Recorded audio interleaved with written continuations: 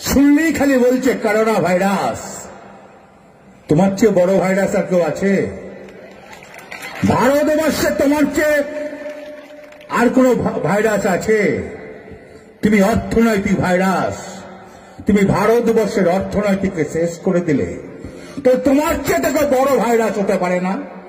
তুমি দিল্লির দাঙ্গা দুশোটা লোকের মানুষের প্রাণ গেল। কি হিন্দু, কি মুসলিম। ঘোরাতে চাইছো না? মোবাইল খুললেই, রিং করলেই খালি করোনা ভাইরাস ঢাকতে পারবে না। তুমি মুখ ঢাকা দিয়ে পালিয়ে যেতে পারবে না। মানুষ জানে, তুমি বেইমান প্রধানমন্ত্রী।